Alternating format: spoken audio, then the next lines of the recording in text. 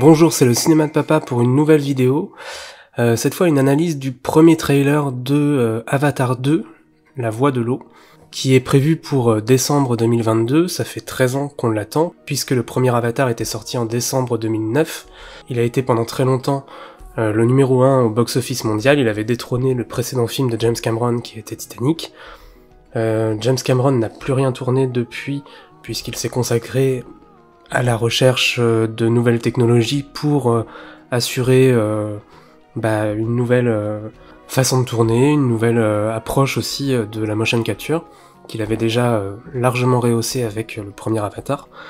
Et du coup, l'approche de ces nouvelles suites, puisqu'il en a tourné 4 à la suite, donc on va avoir Avatar 2, 3, 4, 5, qui vont sortir jusqu'en 2028, tous les deux ans en décembre.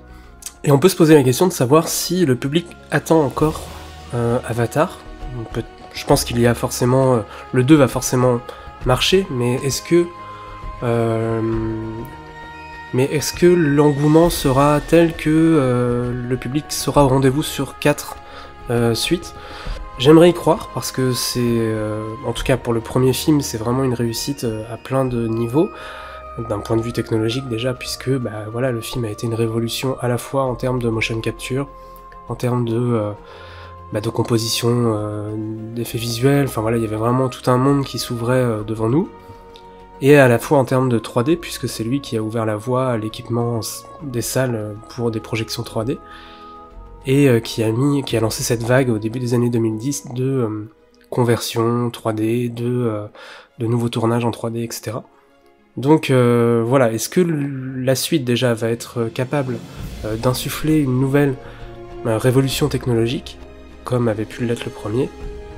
Au vu des premières images, on a tendance à penser que euh, la, révolution sera plus discrète, puisque ce sera, sûrement plus du, perfectionnement qu'une véritable nouvelle approche, même si on voit qu'il y a un travail qui a été fait notamment pour euh, la performance capture dans, un environnement aquatique, euh, chose qui n'était pas forcément évidente parce que avec les capteurs sous l'eau, il y avait une déformation, etc. Donc il a dû inventer de nouvelles technologies et de nouvelles de nouveaux procédés de, captation et euh, je crois aussi euh, un, travail sur de nouvelles caméras pour assurer vraiment bah, une, une, technologie qui soit renversante encore une fois. James Cameron, c'est un cinéaste que j'adore, dont j'admire le travail vraiment depuis. Enfin, je crois qu'il n'y a pas vraiment, à part peut-être True Lies, mais c'est un film que j'aime bien aussi, mais qui est un petit peu plus léger dans sa filmographie.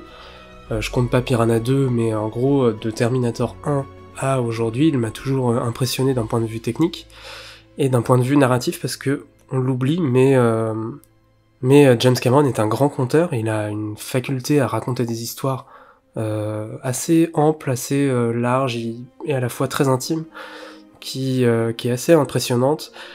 Euh, alors à chaque fois on dit voilà Titanic c'était Romeo et Juliette sur un bateau, euh, Avatar c'est Pocahontas ou Danse avec les loups, que sais-je. Oui, mais à la fois il s'empare de récits euh, tout à fait classiques, tout à fait universels et intemporels, pour essayer de le transcender, de l'amener sur un, nouveau terrain. Et du coup moi ça me gêne pas qu'il soit dans une dans une façon, enfin dans, dans un dans des thématiques un petit peu classiques voilà, puisque d'un autre côté, il essaye quand même à chaque fois d'insuffler euh, quelque chose de, euh, euh, de plus grand, en fait, de plus de novateur. Et c'est à chaque fois bah, c'est à chaque fois un succès puisque bah, je rappelle que ces deux derniers films, donc Titanic et Avatar, ont été pendant très longtemps les champions du box-office mondial. Et c'est pas pour rien. Maintenant plus précisément sur Avatar, moi j'avais été soufflé par euh, voilà par l'expérience 3D, par euh, le monde de Pandora, tout ça qui qu'on nous proposait, et j'avais euh, bien aimé voilà l'histoire, les personnages, tout ça était attachant. Maintenant j'ai pas j'ai pas cet attachement comme je peux avoir par exemple avec des films comme Terminator 2 ou Titanic du même réalisateur. Peut-être que j'étais un petit peu moins pas convaincu, mais en tout cas moins emporté par par le récit voilà par ses précédents films, enfin même Abyss, euh, voilà. Et du coup, bah voilà, Avatar, je l'ai revu hein, quand même plusieurs fois depuis qu'il est sorti, et à chaque fois j'en sors assez ébloui. Mais euh, voilà, j'ai pas là dans l'analyse du trailer, il y a plein de choses qui risquent de m'échapper parce que ça fait déjà un petit moment que j'ai pas vu euh, le film, enfin le, premier. Et donc donc voilà. Donc déjà le film a l'air d'être en scope, alors que le premier était en 1.85 il me semble. Peut-être que c'est juste pour la bande-annonce parce que la première bande-annonce d'Avatar était aussi en scope, donc à voir. Donc là on retrouve un environnement avec bah, ces cailloux flottants, enfin voilà, ces, ces, falaises euh, dans les nuages, tout ça qui sont qui, étaient déjà présentes dans le premier film et qui, tout de suite nous ramènent sur Pandora et euh, c'est assez cool.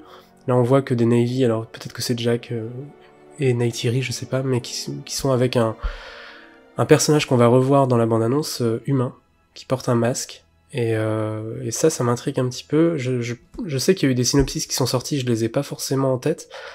Mais voilà, et je, crois que c'était peut-être une idée, enfin, je mélange peut-être un peu tout, mais il me semble que c'était potentiellement le, bah, l'une des clés du film, c'était sauver cet humain en fait pour le ramener, je sais pas où. Donc on, on verra bien, mais en tout cas la bande-annonce s'ouvre sur lui, donc il doit avoir quand même une grande importance.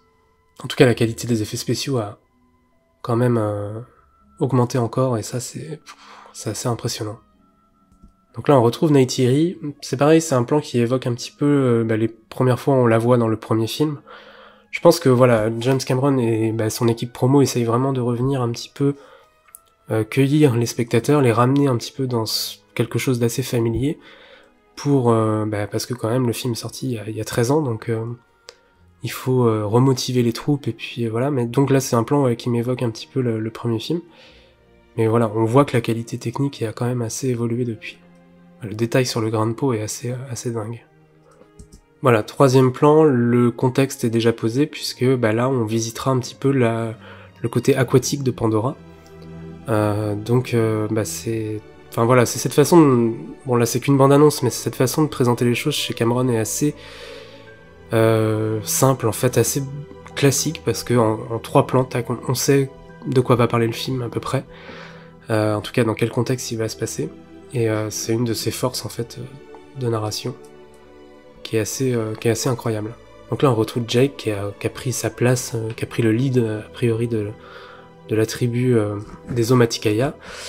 on voit qu'il y a toujours des armes humaines d'ailleurs, des, des, fusils derrière, des recharges, des munitions. Donc voilà, on verra. Là on a un plan bah, toujours aquatique, où on arrive dans des nouveaux paysages, des nouveaux villages aussi. Et c'est assez, euh, bah ouais, ça fait penser un petit peu à Kashyyyk dans, Star Wars, la planète Wookiee, qui était un petit peu comme ça avec ses racines aussi, euh, enfin un mélange entre végétation, entre euh, eau et tout ça.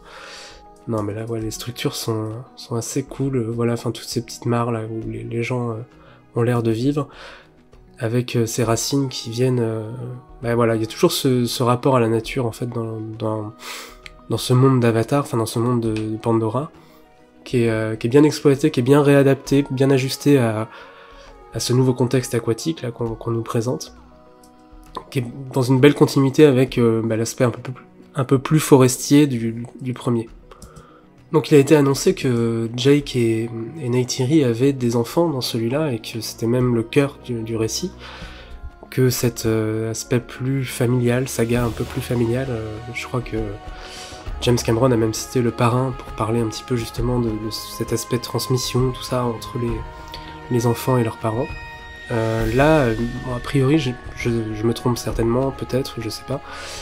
Euh, mais ça peut être un des enfants de Jake et Neytiri qui, qui, nous est présenté. Mais en tout cas, le voilà. Ce dont je parlais, c'est cette façon de représenter la, performance capture sous euh, l'eau. Et là, on voit un, un, niveau de détail, que ce soit les cheveux, que ce soit euh, euh, cet aspect de cette façon de se mouvoir, etc., dans, dans un, environnement aquatique qui est assez, assez phénoménal à l'image. Donc là, on voit que les humains sont toujours sur Pandora, qu'il y a toujours bah, voilà, une colonie, quelque part. Et là, on découvre que bah, des humains, enfin que des, pardon, des Navy sont collaborent avec les, humains pour peut-être préparer leur revanche sur ce qui s'est passé dans le 1 il semblerait que le personnage au premier plan soit Quaritch du premier qui a été euh, tué dans le premier film, mais qui a été annoncé pour ce second film, qui reviendrait sous une forme euh, donc euh, d'avatar. Puisqu'on là on a, on a l'impression que c'est lui, bah, il a le côté un peu baraqué, il y a le côté coiffé à la brosse aussi qui, est un petit peu sa, marque visuelle. On voit qu'ils ont des équipements un tout petit peu plus légers, les, exosquelettes là sont un petit peu plus légers que dans le premier. Donc peut-être que le film se passe juste après le premier, je sais pas, ou alors il y a un saut dans le temps. Euh, il doit y avoir un saut dans le temps quand même, puisqu'ils ont a priori des enfants, donc il y a au moins quelques années qui se sont passées. Mais euh, voilà, en tout cas, les, technologies ont potentiellement un petit peu évolué, même si on voit que là, il y a une sorte d'hélicoptère qui est toujours euh, qui est assez similaire à ceux du premier film. Voilà, là on voit qu'il y a Quaritch dedans aussi. Donc là, voilà, cet humain qui évolue avec euh, bah, les Navy. Alors, on sait pas trop qui c'est. Alors, est-ce que c'est euh, voilà un enfant qui a été trouvé, qui a été qui a grandi avec les Navy? Ou est-ce que bah, euh, ça serait une descendance peut-être de Jake? Enfin, on sait pas trop encore. Euh, je sais pas si ça a été annoncé d'ailleurs, mais euh, bon, en tout cas, c'est assez, euh, c'est assez intéressant. Ça va amener un petit peu de, de, de nouveautés aussi, puisque l'idée, ça va être peut-être de l'intégrer ou de le protéger dans ce monde-là. En tout cas, les décors sont incroyables, peut-être un peu moins colorés que dans le premier film. Et on a, du coup, euh, peut-être plus de photoréalisme, euh, quelque chose de plus, de plus naturel que dans le premier, qui est assez vif en termes de, colorimétrie, en termes d'éclairage et tout. Et, là, on est sur quelque chose d'un peu plus, d'un peu plus sombre quand même que sur le premier. Donc là, a priori, ce serait Quaritch quand même, je, crois. Hein. Je suis pas sûr, mais s'il doit réapparaître, si Stephen Lang est de retour, euh, c'est vrai que ça serait intéressant de le mettre sous cette forme qu'il déteste, de, fondamentalement, il déteste euh, les Navy. Donc ça serait intéressant de le condamner quelque part à vivre dans le corps de, bah, ses ennemis, et donc de, le voir euh, vivre avec cette sorte de malédiction, quelque part, pour lui.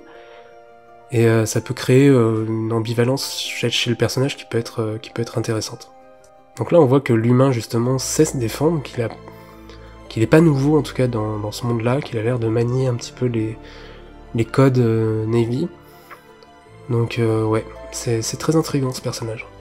Donc là, retour sous l'eau, voilà, c'est un des éléments que préfère James Cameron hein, depuis, euh, depuis longtemps. On l'a vu avec Abyss, on l'a vu avec Titanic, on l'a vu au travers de ses documentaires. Il est fasciné par le monde aquatique.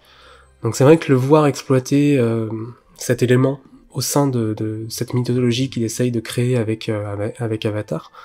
Ça peut être intéressant aussi de, bah, de voir les possibilités qu'il s'offre euh, là-dedans, l'imagination, enfin son imagination jusqu'où elle va aller euh, là-dedans, ça, ça peut être vraiment un joli, un joli pari.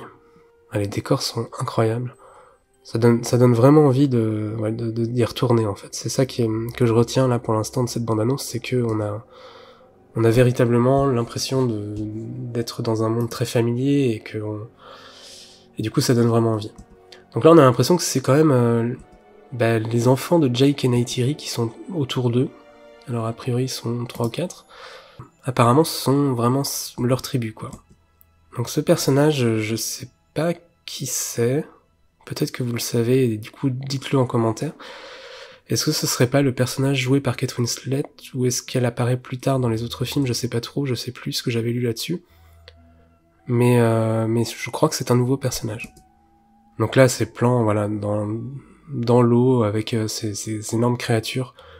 Donc tout ce potentiel que James Cameron peut avoir pour euh, euh agrandir et augmenter sa, sa mythologie de Pandora elle est là en fait dans ce genre de plan où on voit vraiment tout un écosystème euh, qu'il va inventer et qu'il va nous proposer. Et euh, en deux plans, enfin en quelques plans déjà, on, adhère complètement. Donc euh, j'ai hâte de voir de, voir le film sur grand écran. Donc là, on voit une cérémonie Navy, peut-être les Omatikaya ou avec d'autres tribus, je sais pas trop. Mais on voit surtout que Neytiri attend un enfant, qu'elle est enceinte et que euh, peut-être ce sera au cœur du récit de ce deuxième euh, volet. Mais je sais pas ce que célèbrent les, les. En tout cas, là on voit que les Navy vont être encore en opposition avec les, humains, puisque là ils sont dans l'ancien, ou peut-être encore en fonctionnement le centre humain, là, avec euh, l'entreprise minière, là, tout ça, qui, avec les machines et tout, qui détruisait tout sur son passage dans le premier film. on voit qu'il s'infiltre dedans et qu'il cherche à bah, combattre certainement pour, euh, pour leur survie. Donc là, un nouveau plan sur Quaritch. Il bah, n'y a pas de doute, c'est vraiment lui, je pense. Il est toujours aussi énervé en tout cas. Donc là, oui, voilà, l'humain est avec les enfants de Jake. Au moment où il dit euh, cette famille, Du coup, bah, c'est ce qui me fait penser que ça pourrait être euh, peut-être une, bah, un frère de, des autres enfants qui euh, auraient pris forme humaine parce que bah, les origines humaines de Jake font que. Mais bah, je sais pas, dites-moi en commentaire ce que vous en pensez ou ce que vous avez pu lire là-dessus, parce que pour le coup c'est vraiment le personnage qui m'intrigue le plus de la bande-annonce. Et là des plans où on voit qu'ils sont dans une structure euh, bah, humaine encore, euh, qui a l'air de prendre la flotte, qui rappelle un petit peu ces scènes dans Titanic où, le, Jack et, et Rose essayaient de s'échapper voilà, de, l'eau qui, qui arrivait vers eux. Et ça rappelle vraiment ça, bah, c'est vraiment tout le délire en fait de James Cameron généralement, voilà, avec ses structures, ses méga structures dans l'eau, qui euh, où finalement l'humain est, est, menacé par les éléments qui sont plus forts que lui. Enfin l'humain et là en l'occurrence les Navy, mais euh, voilà c'est quelque chose qu'on retrouve un petit peu au sein de sa filmographie. Donc là ça alterne avec des plans de coupe de euh, bah, du monde aquatique de Pandora toujours, et qui, euh, qui donne franchement envie de, de, découvrir le film. Et là, on voit Neytiri toujours enceinte, qui euh, bah, apparemment se prépare au combat. Il y a l'air d'avoir un affrontement qui qui qui s'annonce, donc euh, peut-être certainement contre les humains. Il y a grande chance. Alors on voit Jack toujours armé de de ses armes humaines en fait, qui sont bah, les, les, fusils qu'il avait dans le premier notamment. Voilà, le niveau de photoréalisme est incroyable, les textures de peau sont juste parfaites on, y croirait vraiment. voilà, c'est presque palpable en fait par rapport à d'autres propositions qui sont faites en effets spéciaux, qui sont souvent assez bâclés ou alors qui sont, enfin, dans des modèles de production qui n'ont pas forcément le temps de perfectionner euh, les, effets, les effets visuels euh, à fond. Là, on est vraiment sur une production qui a pris quand même beaucoup de temps pour arriver à ce résultat. Et euh, bah, ça paye puisque là, rien qu'en quelques images, ça enterre complètement la concurrence. Donc la bande-annonce voilà, se termine sur euh, le nouveau logo de Avatar qui a délaissé euh, la police d'écriture euh, Papyrus pour arriver sur un truc un petit peu plus travaillé quand même que le logo du premier film. Et donc on, voilà, le, film s'appelle La Voix de l'eau et bah, ça annonce vraiment un spectacle assez intéressant quand même. J'avoue que bon, cette bande-annonce je l'avais découverte avant la séance de Doctor Strange 2, c'était peut-être le meilleur moment de la séance d'ailleurs. Euh, j'avoue que voilà, quand la musique, euh, bah, le thème d'Avatar revient euh, sur ces images, ça fait quelque chose. Donc là, on sait que c'est pas James Horner qui va composer la BO puisqu'il est décédé il y a quelques années déjà, et qu'il a été remplacé par Simon Franklin.